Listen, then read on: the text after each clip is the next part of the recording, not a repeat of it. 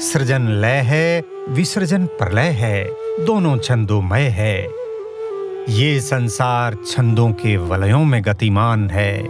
ये शंख हड़प्पा सभ्यता के धोलावीरा नगर में मिले हैं। इन्हें खोलकर क्या देखा गया होगा?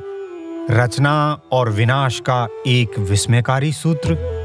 जहाँ तक परिवर्तन का संबंध है, उसको भी हम भारतीय दृष्टि से समझ लें।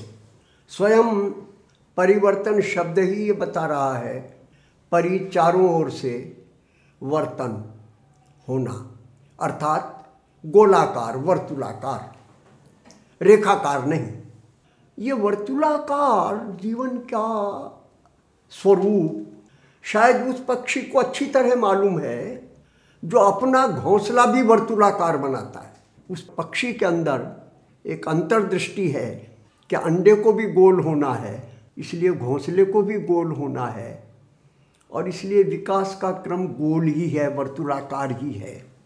लेकिन सर्कुलर होने के साथ साथ प्रकृति में कभी भी पुनरावृत्ति नहीं होती। इसलिए सर्कुलर का ये मतलब नहीं है कि जैसा था वैसा का वैसा दोबारा हो जाएगा। वो गोलाकार होते हुए भी शंखाकार आगे बढ़ता है।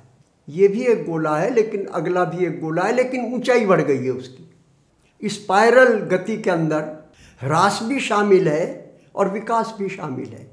ये परिवर्तन का स्वरूप भारतीय चिंतन का, जिसके लिए हमारे यहाँ चक्र शब्द का प्रयोग हुआ। तो हमारे ऋषियों ने उसको इतना महत्व दिया कि उन्होंने बहुत सारी चीज़ों के साथ चक्र शब्द, काल चक्र बोलने लगे हम। संसार चक्र बोलने लगे।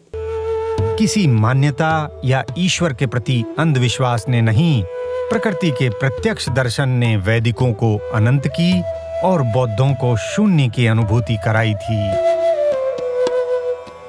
अनंत या शून्य, जिसे इनमें से एक की भी अनुभूति हो गई, वही योगी हो गया, समाधिस्थ हो गया।